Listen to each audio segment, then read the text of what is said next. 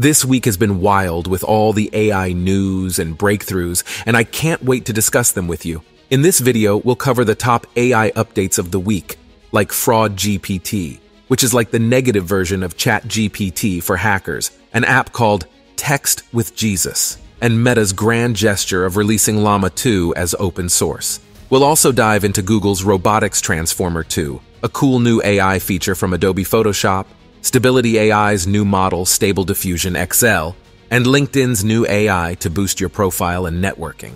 All right, let's start with some scary news. Cybersecurity experts have identified a new AI tool called Fraud GPT circulating on the dark web and Telegram channels since July 22, 2023. Fraud GPT has been advertised as an all-in-one solution for cyber criminals. Some of its features include crafting spear phishing emails, creating undetectable malware, generating phishing pages, identifying vulnerable websites, and even offering tutorials on hacking techniques. It is based on generative AI and ChatGPT technology, which means it can produce realistic and convincing content using natural language processing. The tool can also learn from its interactions with users and adapt to different scenarios. And this is not the first malicious AI tool out there. Just two weeks ago, SlashNext discovered Worm GPT, another AI-powered bot that can spread malware through social media platforms. These tools pose a serious threat to online security and privacy. They can bypass traditional detection methods and trick unsuspecting victims into revealing sensitive information or downloading malicious files. So,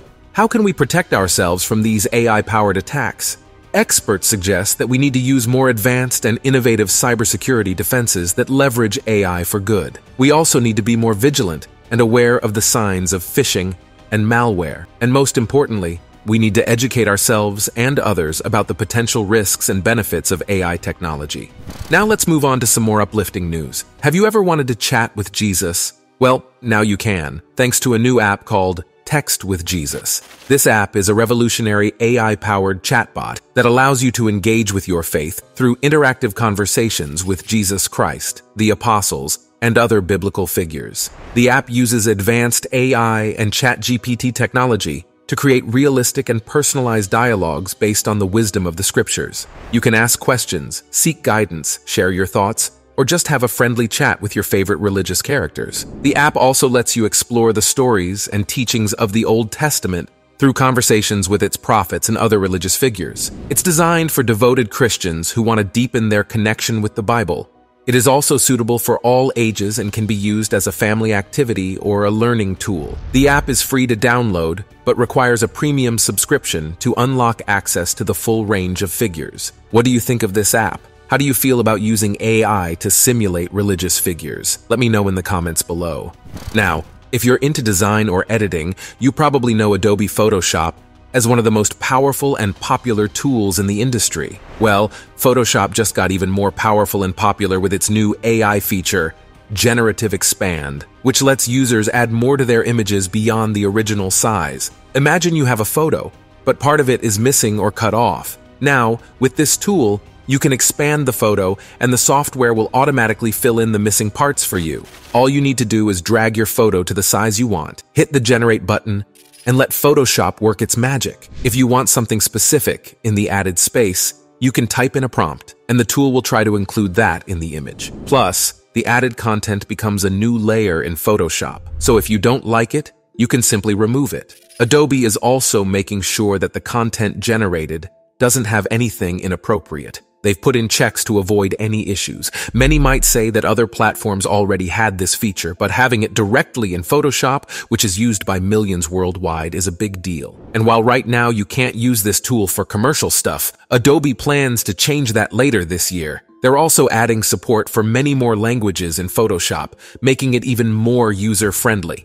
Speaking of generative AI, there's another breakthrough that you need to know about.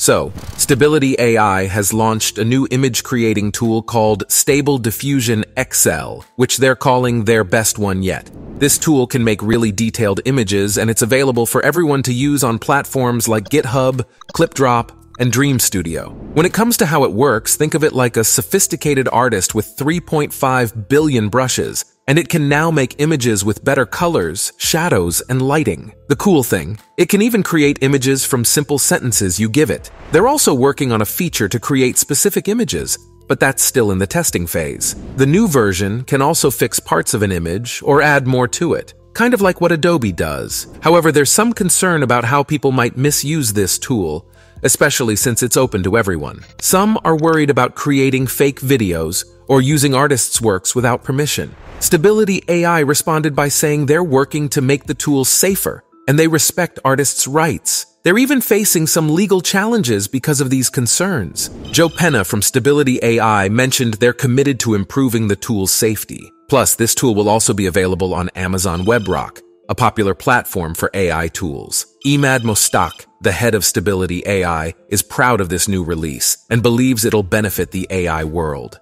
Alright, now Meta has just made a grand gesture by releasing its own large language model, Llama 2, as open source. That means anyone can download, use, and modify Llama 2 for free, for any purpose. Llama 2 is a successor to Meta's Llama 1 language model, which was released in the first quarter of 2023. It is pre-trained on 2 trillion tokens of public data and is designed to enable developers and organizations to build generative AI-powered tools and experiences. It can generate natural language responses based on user inputs, as well as images, code, music, and more. There are three versions available at the moment, ranging from 7 billion to 70 billion parameters. The larger the model, the more powerful and diverse it is. Llama 2 also has a fine-tuned version, Llama 2 Chat, which leverages over 1 million human annotations to create more engaging and coherent conversations. And it's not only open source, but also open innovation. Meta has partnered with Microsoft, Amazon, Hugging Face, and other tech companies to make Llama 2 accessible and compatible with various platforms and frameworks. They have also established an open innovation AI research community to promote transparency and collaboration between academic partners doing LLM research. But why is Meta doing this? According to Nick Clegg, Meta's president of global affairs, the company believes in an open approach to AI that gives everyone a stake in the AI development process. By opening Llama 2 to the public, Meta hopes to foster more innovation diversity, and responsibility in the AI field. Meta also hopes to address some of the ethical and social challenges that come with large language models, such as bias, privacy, and accountability. Llama 2 is a bold move by Meta to democratize AI and empower the global community of creators and researchers. It also shows that Meta is confident in its position as a leader in the AI industry and is willing to share its resources and expertise with others.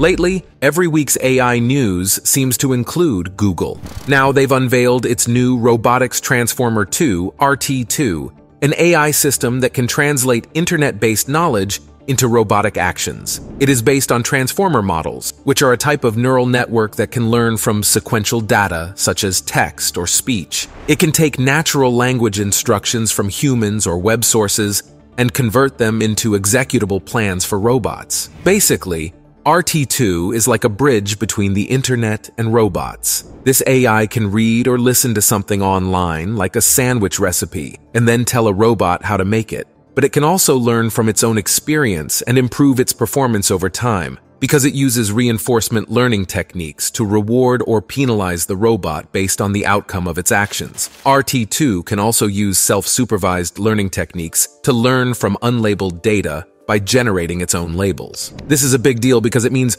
robots can learn new things directly from the web without us always guiding them. It's a step closer to having robots that can do a range of tasks, whether that's helping around the house or assisting with shopping. Google dreams of having robots that make our lives easier, and with RT2, they're definitely on the right path. Plus, they hope this sparks more cool discoveries in the world of robotics and AI. Alright, Finally, let's talk about LinkedIn's new AI-powered tool that aims to help users improve their professional profiles and networking skills. The tool is called LinkedIn Coach, and it uses natural language processing and sentiment analysis techniques to analyze users' profiles, messages, posts, comments, and endorsements. Think of it like a buddy who gives you advice on making your profile stand out or helping you figure out what to say when reaching out for job opportunities or just saying thanks. Plus, it can give you a nudge if it thinks you're posting too much using the wrong tone, or missing out on making connections. But while it's super helpful, not everyone's a fan. Some folks feel it takes away the unique touch from their profiles, making them sound too cookie cutter. Others worry it might be a bit too nosy, peeking into their private data. And there's a concern that relying on this tool might mean we're not thinking for ourselves as much, especially when it comes to networking. All right, that concludes this week's AI news. If you enjoyed this video, don't forget to hit the like button, subscribe to my channel, and click the bell icon to stay updated on all my future uploads. Thanks for tuning in, and I'll catch you in the next one.